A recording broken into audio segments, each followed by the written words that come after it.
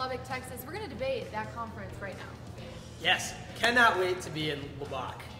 uh, all right, so there's only been 20 Big 12 men's championships ever. Colorado won the first 12. Yeah. Oklahoma State has won the last eight. Now, Meg, they have a bad to the bone. They B do. to the B, even some might say. They do. Top three, Hassan Abdi, Josh Thompson, and Sylvester Barris. If they add Sarat Gebrekadane to that this weekend, and we haven't seen him yet this year, if they add him, they're going to be unstoppable. But if they don't, man, could there Do be you think? a cyclone coming into town to break up the hegemony Yeah. of Oklahoma State? I feel like in the recent years we've always talked about the Iowa State women, but this year, Yes. this men's program, they're they're on the rise. They only lost. We talk about Iona as a podium team, and we should. Iowa State was only 20 points behind Iona at Wisconsin, so they haven't run Dan Curts. They haven't run Nathan Rodriguez. If one or both of those guys run, and Oklahoma State's just a little bit off, it's a legit team. This is a, this is a top 10, top 15 quality team. Uh, that's gonna be the men. It's gonna be Oklahoma State, Iowa State, banging heads. What about the women? What about the women? Well, I'll take that. Iowa, Iowa State, they they've been one of the top programs in the nation in the last five six years. Shout out Andrea Grove McDonough.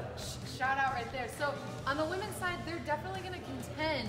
Last year they were upset. I would say it was an upset by. Oklahoma State, who ended up finishing in the top 10 at NCAA. So Oklahoma State, we only have them ranked 23rd right now. What's going to happen? Are we going to see NCAA mile champion Kaela Edwards? We might. If we don't, it's going to be really hard, in my opinion, for the Cowgirls to win. Just my opinion. Just my opinion, though. They didn't look super great at Penn State. Natalie Baker was 41st last year in the NCAA championships, and she was way in the hundreds at Penn State.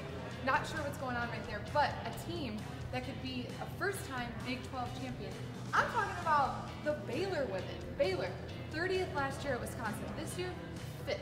They've got, a, they've got a solid top four. They've got a new transfer in, and they're they're rocking it. Their downfall might be that their fifth runner was a full minute behind their fourth runner at Wisconsin.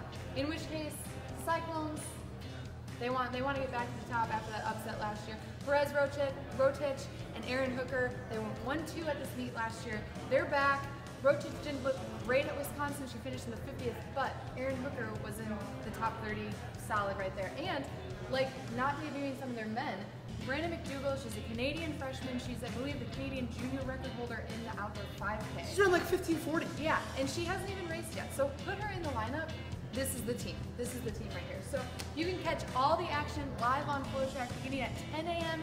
Central this Saturday. Yes. Who who's number one? We'll find out in Lubbock.